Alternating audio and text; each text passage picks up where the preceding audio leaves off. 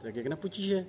Eh, já bych to viděl asi tak, že dát tomu eh, trošku čas a odstup, protože žádná kaše není tak horká, jak se uvaří.